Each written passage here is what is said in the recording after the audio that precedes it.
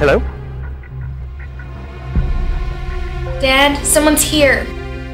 All right. Listen to me. Go to the next room. Get under the bed. Tell me when you're there. Okay, I'm here. All right, this next part is very important. They're going to take it.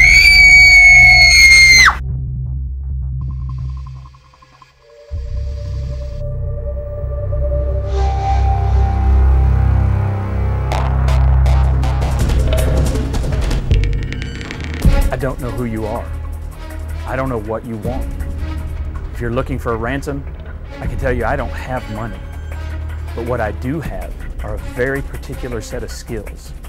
Skills I have acquired over a very long career. Skills that make me a nightmare for people like you.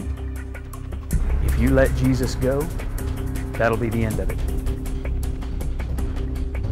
But if you don't, I will look for you. I will find you. I will convert you. Good luck.